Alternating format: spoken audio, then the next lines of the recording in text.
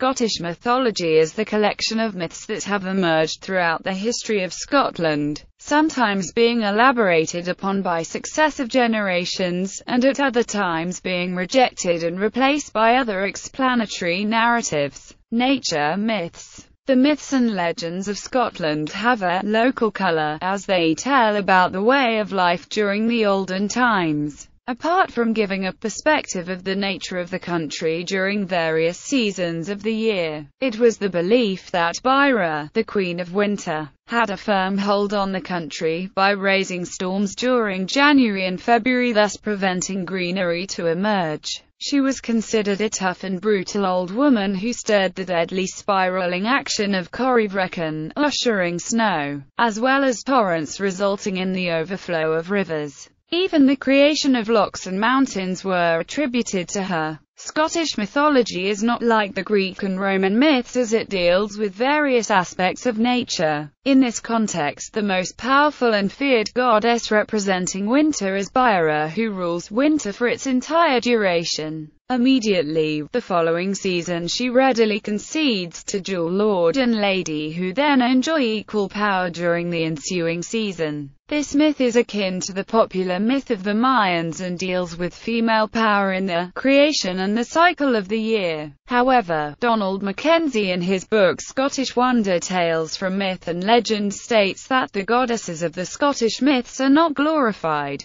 very much unlike the goddesses of ancient Greece. The rivers in Scotland were considered the dwelling places of goddesses with their characteristic denoting the nature of the river, such as the River Forth being called deaf or soundless river, on account of its silent flow conditions and the River Clyde called as the purifying river, as it caused scouring and cleansing, carrying mud and clay during the flood season. Aztec's Scottish mythology is dominated by goddesses, and according to Donald Mackenzie, they are greater and stronger than the gods. The Celtic goddesses were authoritative and were associated with female fertility as related to female divinity in earth. In olden times the Celtics' land and national societies were both linked with the body of the goddess and her representative on earth was the queen. Another, ambivalent, character in Scottish myths was the hag, the goddess, the Gaelic Cailleach, and the giantess, a divine being who is harmful. The hag is also considered a healer and helpful during childbirth and is divine and said to have long ancestry and incredible longevity. She is also known as, at once creator and destroyer, gentle and fierce, mother and nurturer. National mythology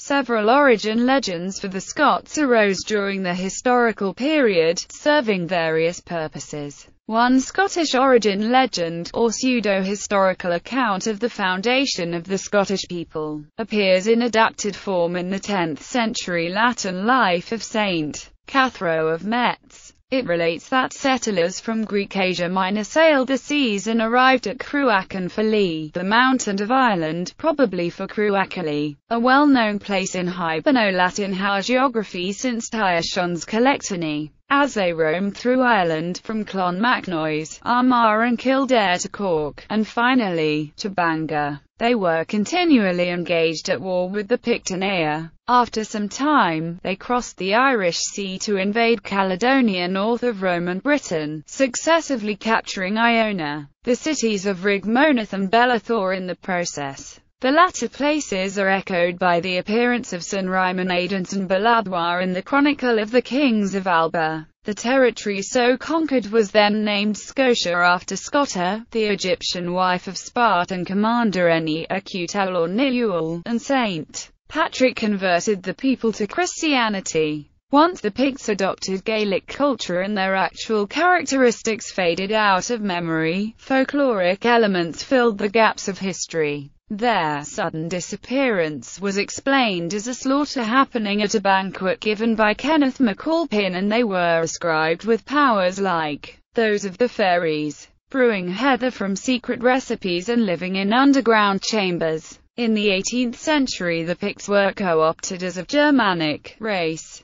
In the Celtic domains of Scotland, also known as Gaeltacht, there were ancient pre-Christian structures In the farthest end of northwest Scotland there are standing stones at Callanish on the island of Lewis, in a vertical position, which are akin to the Stonehenge. These are believed to be older than Stonehenge and are standing for more than 5,000 years and said to be denoting sun worship. Ulster cycle. Because of the movement of people from Ulster to West Scotland, which resulted in close linguistic links between Ulster and the west of Scotland, much of Gaelic mythology was imported to Scotland and possibly some of it written in Scotland. The Ulster cycle, set around the beginning of the Christian era, consists of a group of heroic stories dealing with the lives of Conor mac Nessa, King of Ulster, the great hero Cúchulainn, and of their friends, lovers, and enemies. These are the Ulaid, or people of the northeastern corner of Ireland and the action of the stories centres round the royal quarter Emain Macha, close to the modern city of Armagh.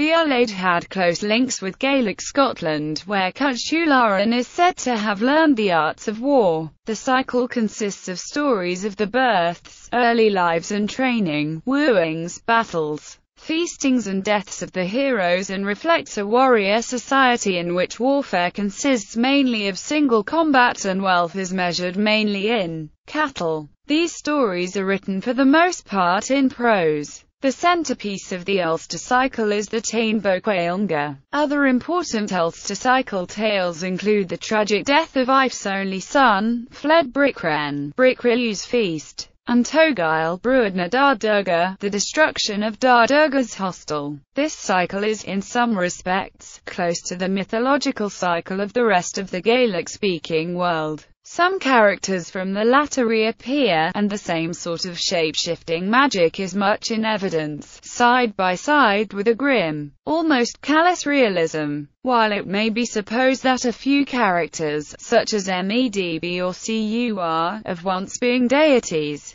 and Cúchulainn in particular displays superhuman prowess, the characters are firmly mortal and rooted in a specific time and place. Scottish Gaelic adaptations of Ulster cycle tales appear in the Glen Masan manuscript. Finn and Fianna. The stories of Finn mac Cumhal and his band of soldiers the Fianna, appear to be set around the 3rd century in Gaelic Ireland and Scotland. They differ from other Gaelic mythological cycles in the strength of their links with the Gaelic-speaking community in Scotland and there are many extant texts from that country. They also differ from the Ulster cycle in that the stories are told mainly in verse and that in tone they are nearer to the tradition of romance than the tradition of epic. The single most important source for the Fenian cycle is the Acallam na Senórach, which is found in two 15th century manuscripts the Book of Lismore and Laud 610, as well as a 17th century manuscript from Killiney, County Dublin. The text is dated from linguistic evidence to the 12th century. The text records conversations between the last surviving members of the Fianna and St. Patrick and runs to some 8,000 lines. The late dates of the manuscripts may reflect a longer oral tradition for the Fenian stories. The same oral tradition which was interpreted from Gaelic to English by James Macpherson in the Ossian stories.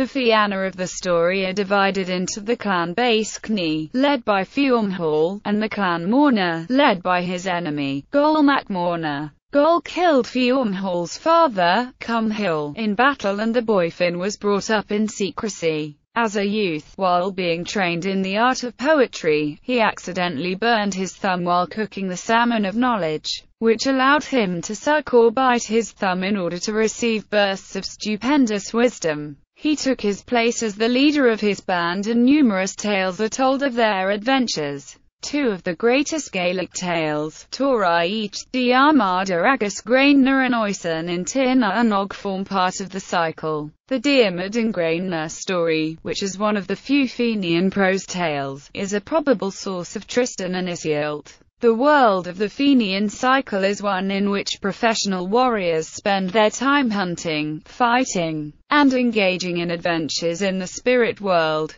New entrants into the band are expected to be knowledgeable in poetry as well as undergo a number of physical tests or ordeals. There is no religious element in these tales unless it is one of hero worship, Hebridean myths and legends. The Blue Men of the Minch, who occupy the stretch of water between Lewis and mainland Scotland, looking for sailors to drown and stricken boats to sink. Kelpies are fabled water spirits or demons in the lowland Scotland which are said to assume different shapes. Normally, they appear in the form of a horse. There is another spirit known as water kelpie which reportedly haunts lakes and rivers, and indulge in drowning people. It is also reported to help running mills during night hours. Shoney was a Celtic water spirit which the residents of Lewis used to worship with offer of a glass of ale. According to Dr. Martin, one night the people of Lewis appeased Shoney. They assembled at the Church of St. Mulway. Each person carried food and necessities needed for the worship.